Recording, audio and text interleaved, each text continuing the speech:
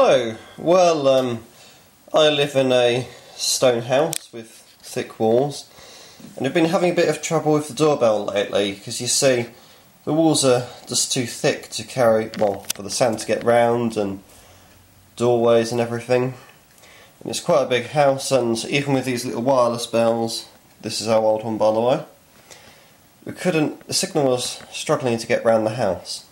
And we've had several, we've had several incidents where people have been at the door and haven't been able to hear, well, we haven't been able to hear the doorbell.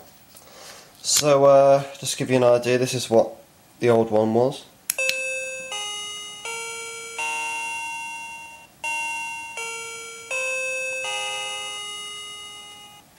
Here, as you can see, it's not very loud at all. It's quite quiet, and the further away we put this, you know, it just gets less reliable. So I made my own. And you know, this is going to be a, lot better, so I came up with this. So I've got a compressor here, air compressor, uh, powering two air horns, as you can see there. This is going to be the best doorbell we've ever had. And of course I've got all my electronics, so that's a computer power supply that a friend gave me, and some relays and capacitors and other stuff to make it all work. And then it's paired, all this wire goes to the door. That's the front door there. Right, so um, this one you can pretty much hear all around the house, which is quite good. And uh, I am pretty sure this is from an old ambulance. This, uh, uh, well, it um, it automatically alternates between high and low. So, well, you see what, what I mean later. Now, I I will give you a demonstration. Now, let's jump outside.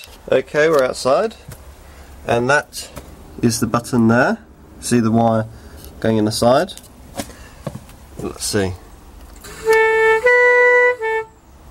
Okay, well the door blocks quite a lot of the noise from here, but if I open the door, should be able to hear.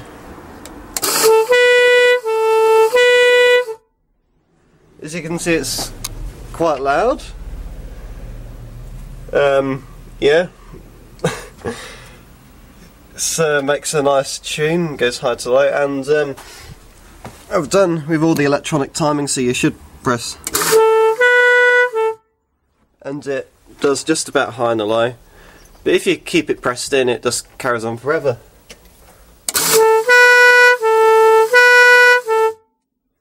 As you can see. So, um, I hope you like my improvised doorbell. Made from scrap wood, old bits out of my workshop, and this that I bought from £15, believe it or not, altogether, the compressor and air horns. Yeah, so, uh, thanks for watching.